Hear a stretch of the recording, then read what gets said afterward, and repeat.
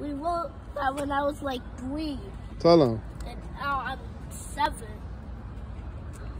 It's still there. It's lasted through rain, snow, Floods. floods, wind, summer, winter. Name on the wall. How did it get through floods? I'm trying to figure out. You know why? Because there's this protecting thing up there. So the water doesn't get... It's kind of protected from the weather. But how about the floods when it goes like up there? It don't get that high over here. Maybe it got up to here where they changed the bricks.